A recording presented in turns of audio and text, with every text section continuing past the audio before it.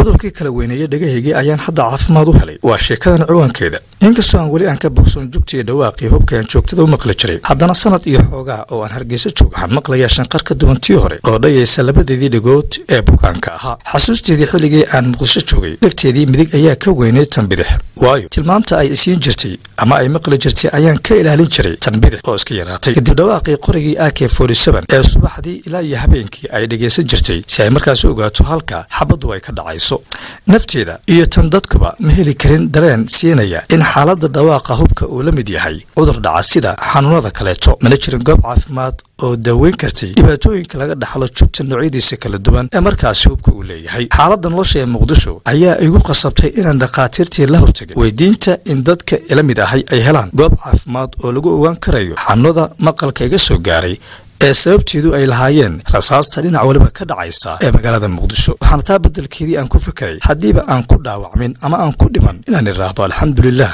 way xanuuni jireen waan qarsan jiray cidna maalin ima odhan maxaa labadaadii dhagood kala weyneeyey? Xitaa haddaan odhan lahaa dhagahaygii waxay la xanuunsanayaan dhawaaqa hubka magaalada ka dhacaya.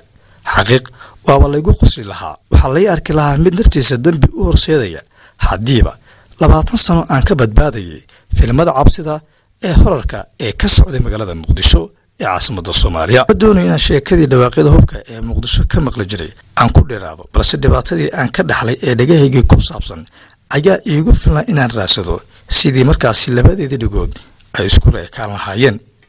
Waxaana islaa waxaad heli doontaa dhakhtar ama goob caafimaad oo markaasi isla sima dhagahaagii. Muddo ayay igu qaadatay inaan helo sinaan dhabahi oo ku saabsan in dhegahaygu markaasi ay noqdaan kuwa isla eg balse waxaan ogaaday in sidaan doonayo aysan socon karin. Cadaaladda iyo raxmadda noloshuna ay ku xiran tahay qofka oo uu ku noolaado. Waxaana sanad iyo xoogaa kadib aan qaliin la'aan dawo la'aan iyo weliba dhakhtar la'aan aan dib u arkay labadeedii dhagood oo isku mid ahi.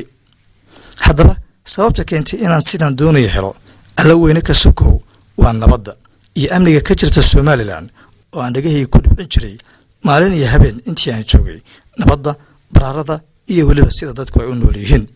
Taas ayaana iiga saartay xanuunkii dhawaaqa qoriga ak ee dhagahaygii kala reebay. Saaka alxamdulilah weeyaan nabadda ayaan ogaaday inay daaweyn u tahay wax kasta oo nooluhu ka hor yimaado.